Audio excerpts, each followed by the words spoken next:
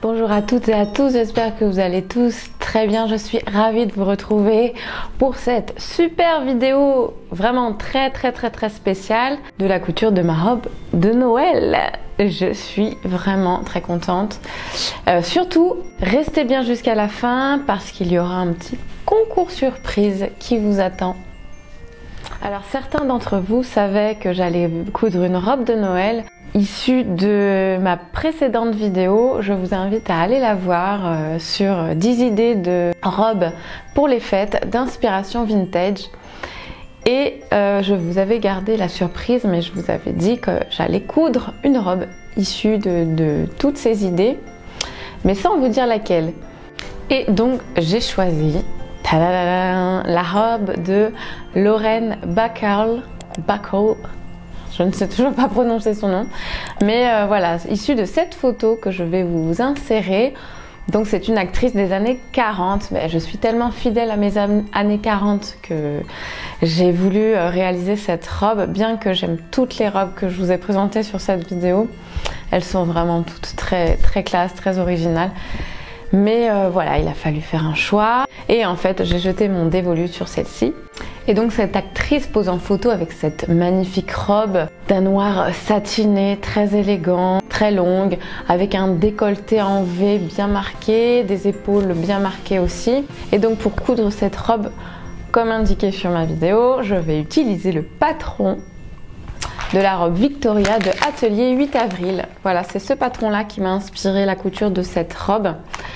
Je trouvais qu'elle euh, ressemblait fortement, malgré euh, quelques différences. Il ne s'agit pas exactement de, la copie parfaite de cette robe, mais je trouvais que ce patron avait pareil un décolleté en V bien marqué, des épaules euh, bien marquées, alors plus bouffantes pour le coup pour ce patron, hein, comme on peut voir en haut. Alors bien sûr, je vais par contre rallonger la partie jupe de façon à ce qu'elle aille bien en bas comme sur la photo. Et donc cette robe a des plis plats, elle a beaucoup de plis plats en fait comme on voit et euh, comme euh, voilà je trouve que ça ressemblait un petit peu à la photo où on voit que c'est assez drapé devant et puis euh, au niveau de la taille donc c'est pas exactement le même type de, drapé mais je trouvais que ça, y ressemblait fortement et euh, c'est la première fois que je vais réaliser des plis plats, donc ce sera un petit défi ou une nouvelle technique couture pour moi. Donc euh, je suis très contente. Donc ce patron, je l'ai gradé en fait. J'ai gardé la taille 36 en haut et je l'ai gradé jusqu'au 40 au niveau de la taille et des hanches. En général, il faut toujours que je grade mes patrons puisque j'ai une toute petite poitrine. Donc euh, ça va, ça, ça rentre jamais bien dans une case hein, pour moi en tout cas. Et donc le tissu, parlons tissu maintenant, euh, j'avais cherché pendant un petit moment un joli tissu noir comme ça qui se rapprochait de, l'esprit de la robe, mais je n'ai pas trouvé ce que je voulais. Par contre, j'ai trouvé un tissu foncé. Et donc j'ai commandé chez Stragier ce magnifique, il ressort bien bleu à la caméra, mais en fait euh, il est un peu moins en vrai. C'est ce magnifique vert, vert canard euh, en tuile de viscose qui a un tombé euh, assez lourd, parfait pour cette robe. Je pense que les plis vont bien être marqués et euh, qui n'est pas transparent. Ça, ça m'arrange. Mais qui reste bien fluide quand même. Et je pense que ça peut faire un rendu magnifique.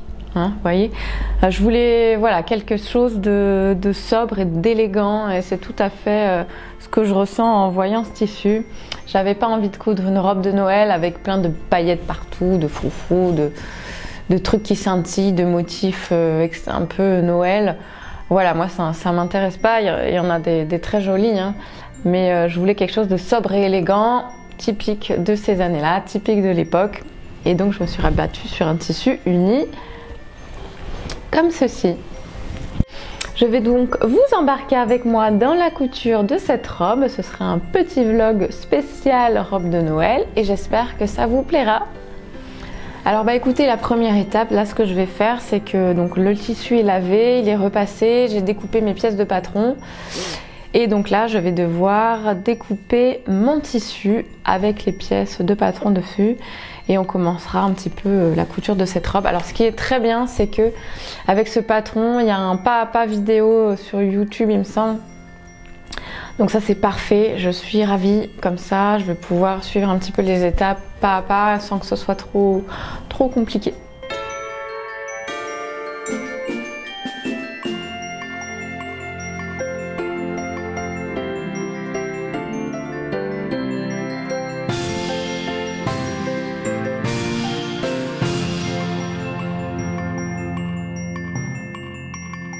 Bon, euh, vous n'allez pas me croire, il m'est arrivé exactement la même chose que, dans ma vidéo euh, où, je couds, euh, bah, justement cette robe chasuble. Je n'ai pas assez de tissu. en fait, quand il s'agit de rallonger les, robes des patrons, je sais pas, je dois faire un mauvais calcul. Je me, dis, oh, c'est bon, ça va passer. Et en fait, je ne peux pas rallonger ma robe en fait. Donc clairement, soit je, ne rallonge pas la robe et je, laisse le patron original, mais du coup ça va pas du tout faire, euh, ça va pas du tout être la robe, euh, l'esprit de la robe euh, de star années 40 ça sera plus du tout là. Soit je recommande du, tissu chez Stragier, je suis dégoûtée. Je sais pas, je sais pas ce que je vais faire. Ah, je sais pas, mais j'en ai marre. Oh là là, c'est la deuxième fois que ça m'arrive. J'ai vraiment pas de bol. Bon, je, vais regarder. Je vais, aller, je vais aller jeter un petit œil sur le site. Et dans ces cas-là, je commanderai. Euh, il fallait que je recommande du tissu pour un pantalon que je voulais faire, donc je le commanderai en même temps. Coucou alors du coup, finalement, ce que j'ai fait, je me suis résignée, hein, j'ai recommandé, euh, j'ai repassé commande sur le site de Stragier. Donc j'ai commandé 1m10 de tissu euh, qui me manquait. Et ben, du coup j'en ai profité pour commander du tissu dont j'avais besoin. Sinon là, donc ce que j'ai fait, j'ai thermocollé euh, comme le veut la vidéo tutoriel. Donc ceinture de vent, ceinture d'eau et colle que j'ai fait aussi, et ce que je trouve vraiment très très bien dans ce patron, c'est que j'ai thermocollé les deux décolletés des deux pièces devant, comme ça, tout le long, avec du droit fil thermocollant en enrubant. Moi, j'en avais pas. En fait, ce que j'ai fait, c'est que j'ai découpé des bandes dans mon thermocollant. Et c'est super bien parce que du coup, ça hum, permet de pas déformer l'encolure. Surtout que c'est un tissu euh, de viscose, c'est très fluide, ça, peut se détendre, je pense. Et franchement, c'est vachement bien qu'elle l'ait préconisé parce que j'ai jamais vu ça. J'avais jamais vu un patron où il demandait de thermocoller l'encolure. Euh, et en fait, ça m'est déjà arrivé d'avoir des, encolures euh, un peu déformées à cause de ça. Donc vraiment euh, top. Alors la suite, c'est la particularité de ce patron, et ce qui fait tout son charme aussi, c'est la réalisation des fameux plis plats. Et voilà, c'est une technique que je connais pas du tout, donc je vais la découvrir. Et euh, voyez là tous ces petits marquages. Hop, en haut, en haut et en bas. Il va falloir en fait, euh, voilà, faire les plis plats comme ça, revenir.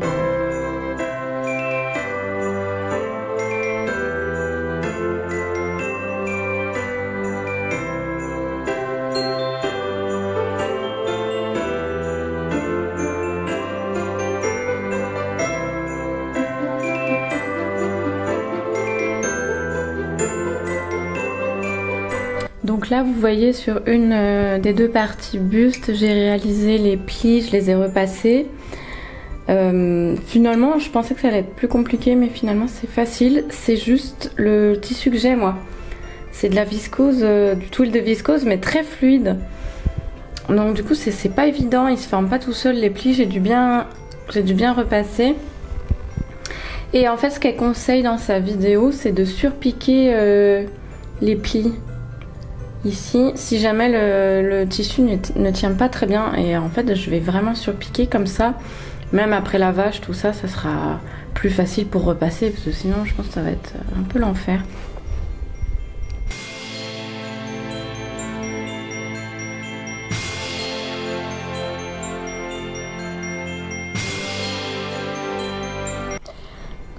Coucou, alors nous voici le lendemain, j'ai enfin terminé les plis.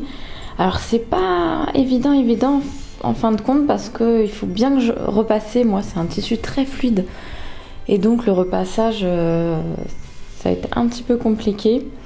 Euh, au départ j'avais surpiqué tout le long et en fait, je me suis rendu compte que ça, ça aplatissait trop ces, plis. En fait, c'était dommage, on n'avait pas ce petit jeu là. Donc, ce que j'ai fait, c'est qu'en fin de compte, parce qu'il faut vraiment que ça tienne, je pense que si je surpique pas ou si je coupe pas un minimum les plis, ils tiendront pas bien. Et pour le repassage, ça, sera vraiment une, grosse galère. Donc, ce que j'ai fait, alors c'est pas bon, ça se voit pas tellement. Dis donc, ça ressort vachement bleu le le tissu à la caméra, mais il n'est pas aussi bleu que ça, hein, je, vous rassure.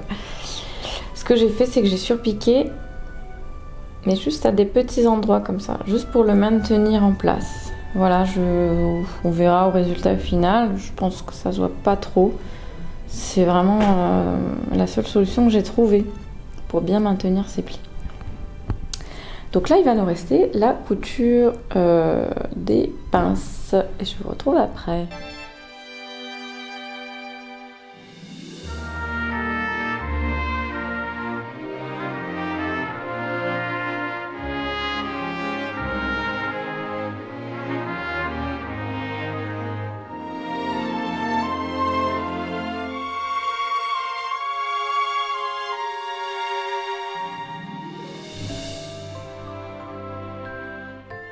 Alors j'ai terminé les pinces, donc ça c'est bon. Et en fait, quand je me suis, euh, quand j'ai voulu continuer donc la vidéo pour, euh, pour voir la suite du procédé, eh bien la finition en colure se fait au billet.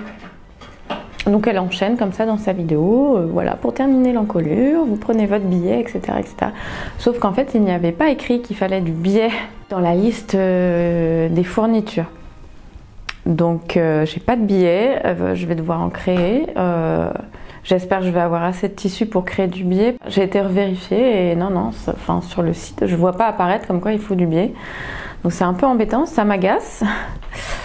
ça m'agace parce que j'aurais pu m'avancer dès, le début ou j'aurais pu m'en apercevoir avant, quoi. Mais j'ai pas lu ou regardé les instructions avant. Si vous voulez, moi je me suis fiée à la liste du, du matériel, quoi.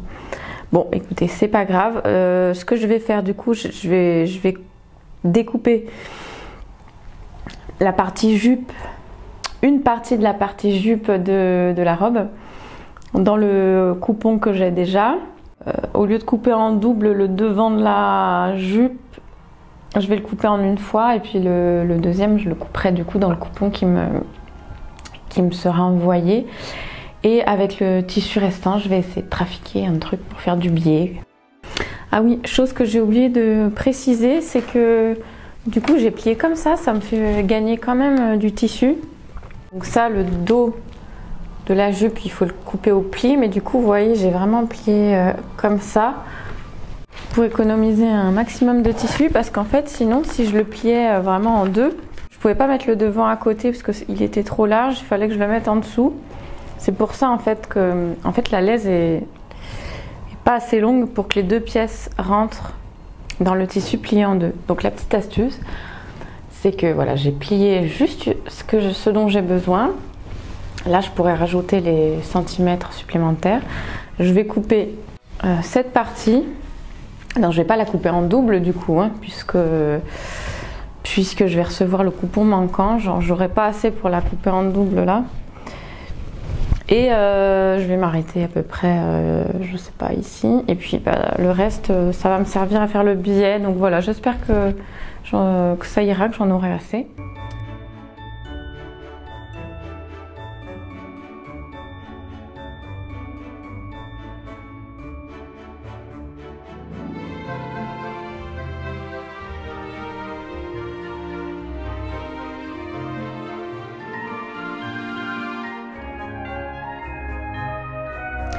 Bonjour, aujourd'hui est un nouveau jour. Ça fait vraiment un petit moment que j'ai pas cousu la robe parce que évidemment quand je couds la robe, je dois aussi filmer.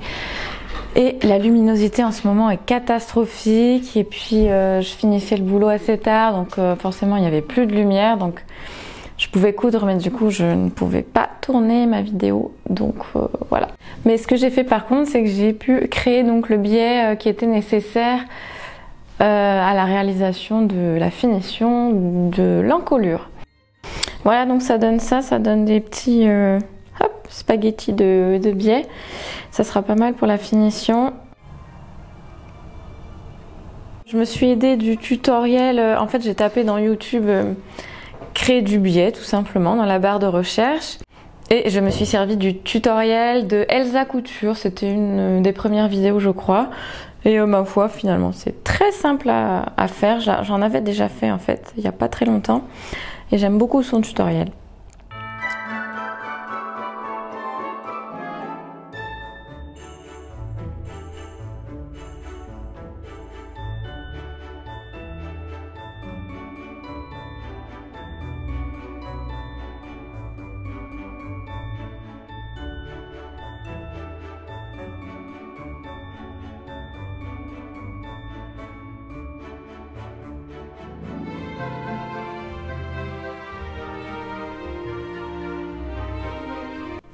Alors donc j'ai terminé la couture du billet sur l'encolure devant. J'ai également assemblé le, dos au devant du buste et j'ai piqué euh, sur les côtés. J'ai essayé à l'envers le buste. Je vous montre un peu de plus loin ce que ça donne. Bon là il est à l'envers. Hein. Alors la prochaine partie ce sera le col. Vous voyez un tout petit col euh, montant euh, très léger qui vient se coudre.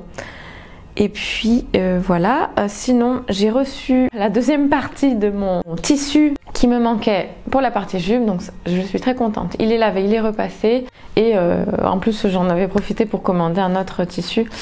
Donc voilà, bah écoutez, on se retrouve après. Vous voyez cette petite ambiance de Noël là, c'est parfait pour le thème de cette vidéo. J'adore, c'est trop joli à côté de mon espace couture. C'est magnifique.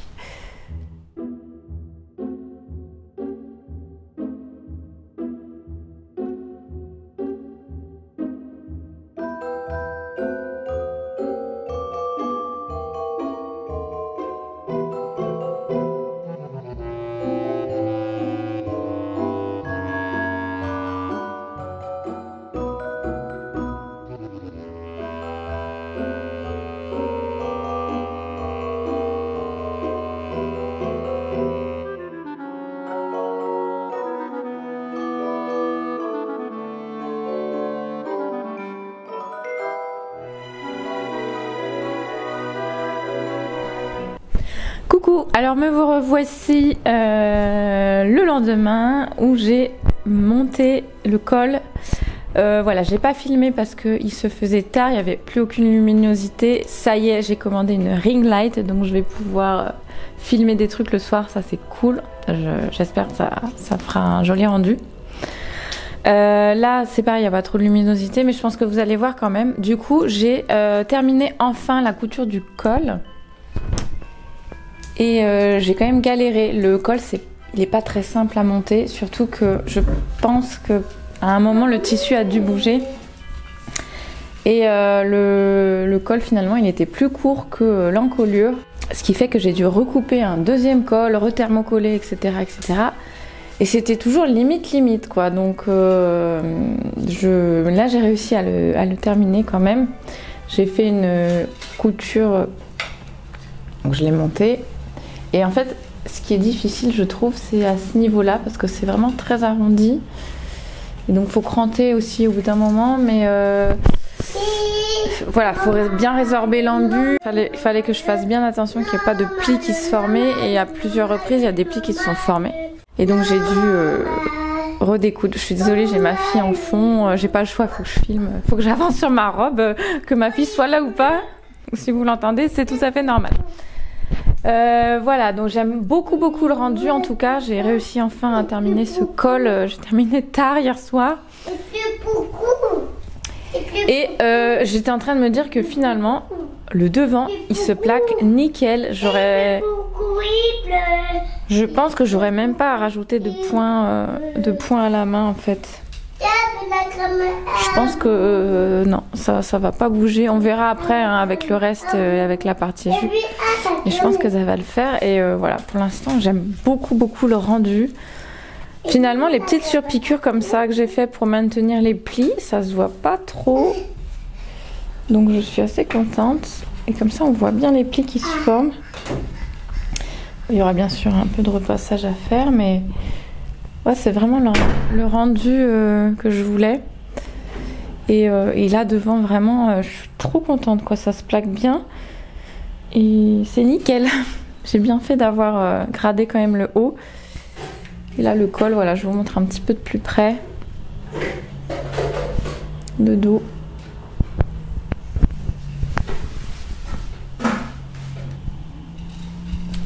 Voilà, bah écoutez la suite, je pense que ça va être le montage des manches. Je vais essayer d'avancer un petit peu aujourd'hui. Je vais essayer de bosser avec euh, le petit monstre là que j'ai aujourd'hui avec moi.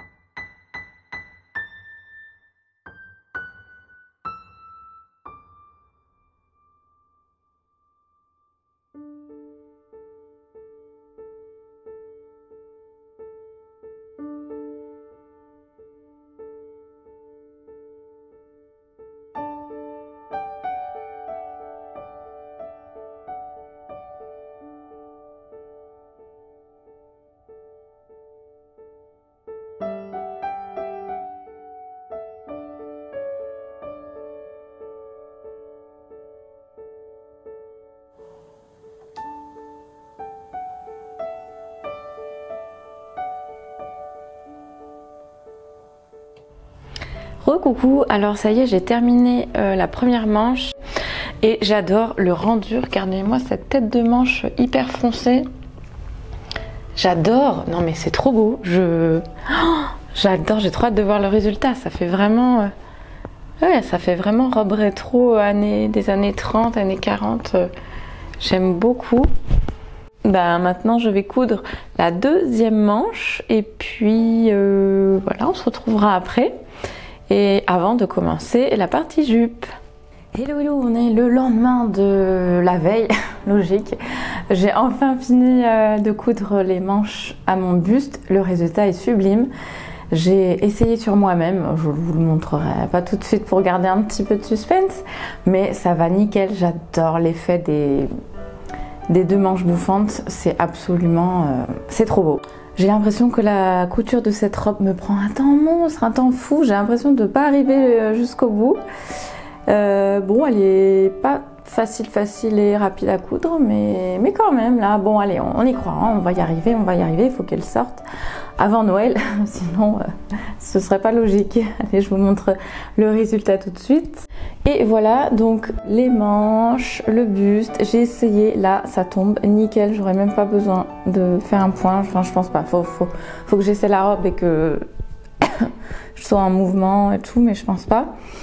Euh, donc là, au niveau des épaules, même quand je la porte, ça fronce encore plus. Là, il y a le cintre qui vient euh, enlever, mais ça fronce encore plus au niveau des épaules. C'est absolument magnifique. Juste une petite euh, imperfection. Là, euh, en fait, ce pli-là, je l'avais fait un tout petit peu trop large. C'était vraiment pas facile à... Bon, là, ça donne rien sur la vidéo, mais parce que c'est pas repassé. Hein, mais je vous assure que ça sera autre chose. Mais par contre, voilà, à ce niveau-là, bon, euh, ça touche un petit peu. Et là, non, vous voyez, il y a un petit décalage. C'est une petite imperfection, mais c'est pas très grave, ça se voit pas trop au porté. Euh, ouais, un bon coup de repassage. Et euh, voilà, donc les manches, pouf, descendent jusque là. Bien sûr, il va y avoir la ceinture, la partie jupe, tout ça. Et en fait, les manches, donc ils préconisent un ourlet tout simple pour les fermer. Et je sais pas, je suis en train d'hésiter sérieusement à me faire un bracelet de manche euh, un peu plus euh, rétro quoi, qu'un truc euh, tout simple comme ça. Et en fait j'avais pensé à faire un joli bracelet de manche, un truc comme un peu comme cela, comme ceci. ouais, comme ça. Hop. en même un peu plus, un peu plus large même. Vous voyez, bon, ça sera pas aussi bouffant là parce qu'il n'y a pas autant de tissu, mais voilà quelque chose de, avec des boutons. Euh, je trouve que ça peut faire joli. Alors, je vais pas forcément prendre ce, ce patron là, mais euh, je pense que ça peut être facile à recréer. Voilà, un truc un peu plus large, ça peut faire super joli. Je, vais réfléchir. Voilà, donc ensuite, je pense que l'étape suivante, ça va être la partie ceinture. Et puis après, la partie jupe. Alors, je sais pas, il va falloir refaire des plis, tout ça. Ça va peut-être encore être un petit peu long. On verra bien. Bon, la luminosité est euh, vraiment en train de, diminuer. C'est une catastrophe. Il est à peine. Euh, il est même pas 16 h quoi. Il est 15h46. Euh, donc, vous voyez, il, est joli mon sapin. Euh, voilà, donc ce que je vais faire, c'est que je vais coudre les ceintures. Je vais faire toute la partie ceinture euh, au buste que vous voyez là.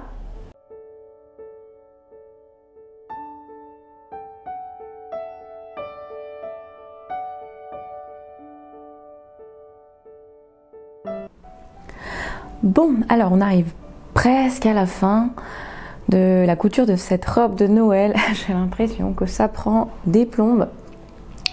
Mais euh, voilà, parce que je, veux faire les choses bien et elle n'est pas rapide, rapide à coudre, mine de rien. Mais euh, voilà, c'est pas grave. Alors j'ai pas mal avancé en fin de compte, sans filmer.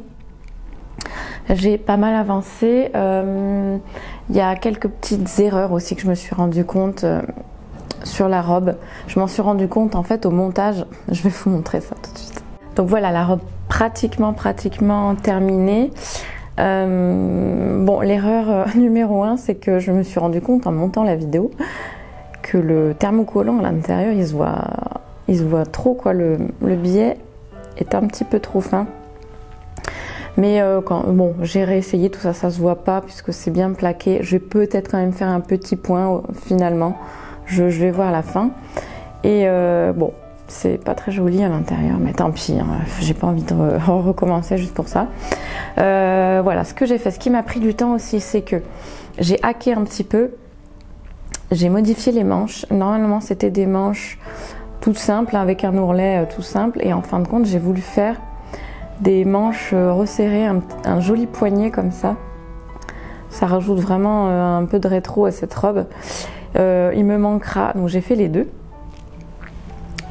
hop, hop, il me manquera les boutonnières et les boutons. Je voudrais mettre des boutons à recouvrir que je n'ai pas. J'en ai quelques-uns, mais j'en ai pas beaucoup, donc il faut que j'aille en acheter. Et ouais, ça va faire vraiment canon. J'ai dû froncer un petit peu là au niveau des poignets pour que ça rentre. Euh, je me suis aidée pour les poignées de manche. Je me suis aidée d'un tuto euh, sur internet, sur YouTube. Euh, vraiment très très bien expliqué. Je vous retrouve le tuto tout de suite. Donc voilà, il s'agit de ce tuto-là, coudre des manchettes de la chaîne Closer Look. Écoutez, c'est très bien expliqué, c'est vraiment le seul tuto qui m'allait. J'ai tapé euh, dans la barre de recherche bracelet de manche couture et c'est vraiment le seul qui ressemblait à ce que je voulais faire dans l'idée. Donc euh, vraiment très très bien, très très bon tuto.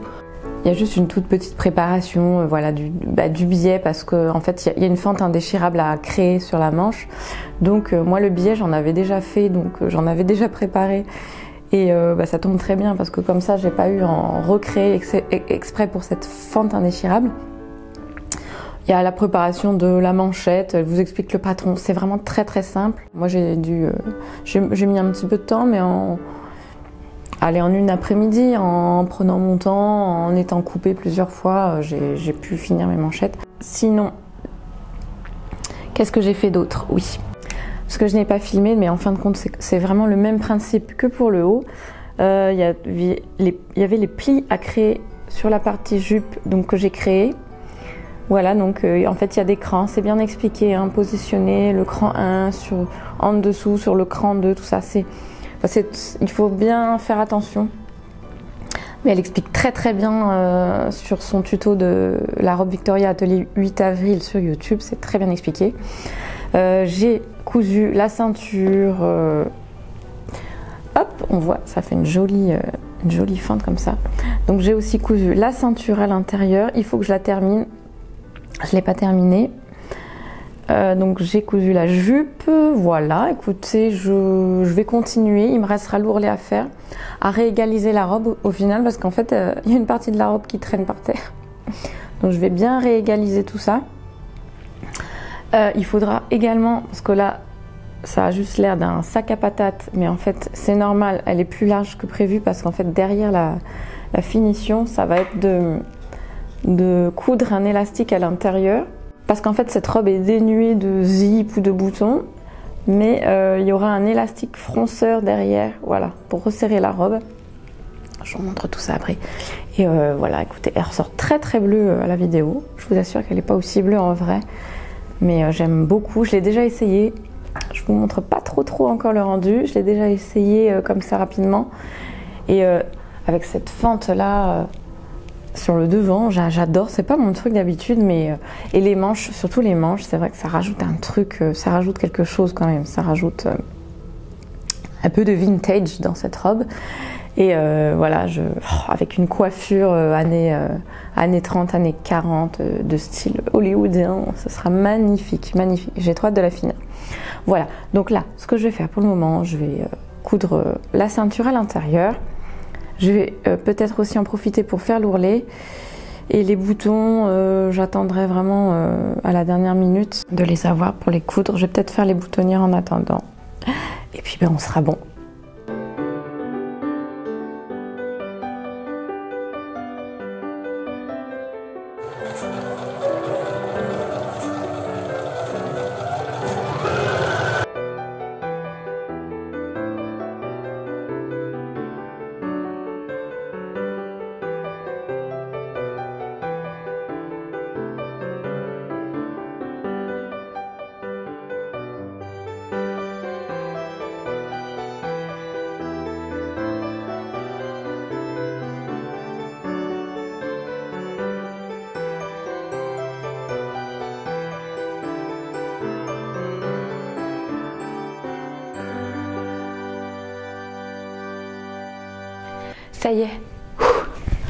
La robe est enfin terminée. Je suis trop contente.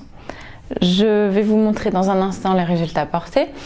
Euh, voilà, juste pour les finitions, j'ai rajouté un petit point à la main. Quand même, j'avais peur que, ça s'ouvre et je voulais, être à l'aise en la portant et en déambulant avec. J'ai euh, cousu enfin mes boutons, j'ai fait mes boutonnières. Voilà, le seul petit truc, c'est que les manchettes, je les ai faites un peu trop serrées. Euh, donc, pour le moment, j'ai cousu, bon, j'ai fait trois boutonnières, mais j'ai cousu que deux boutons parce que je pense que le troisième, ça va être euh, trop serré. Donc, je vais laisser comme ça. Pour l'instant, ça fait pas moche. franchement, ça fait bien. Mais euh, j'ai peur que ça me serre trop. Et voilà, j'aurais dû faire, le faire un tout petit peu plus long. Mais écoutez, c'est une erreur, euh, une erreur finale, mais c'est pas grave, ça n'empêche pas de porter la robe et de vous montrer le résultat final tout de suite.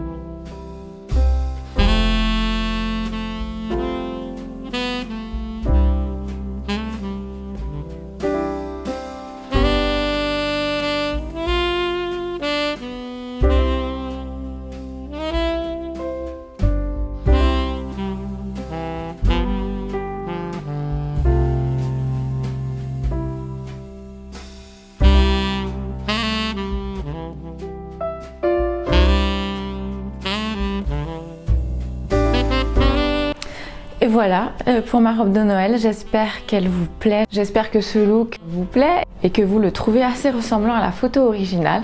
Moi je trouve quand même que ça s'en rapproche beaucoup, alors j'ai pas utilisé un tissu euh, noir, Mais euh, je trouve que l'aspect de la robe, j'ai essayé de recréer une petite coiffure un petit peu à la Lauren Bacall.